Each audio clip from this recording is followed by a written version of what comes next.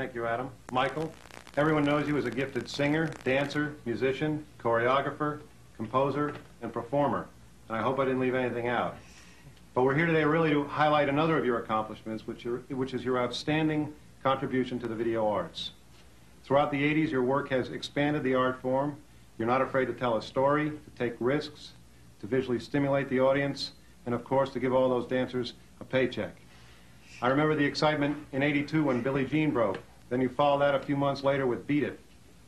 People everywhere were glued to their sets watching you on MTV. And with each passing video project, you've kept the excitement going.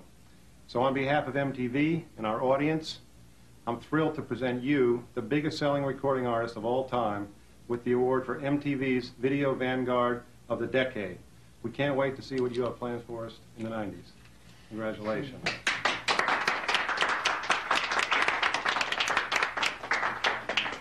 Very beautiful. Thank you very, very much, MTV.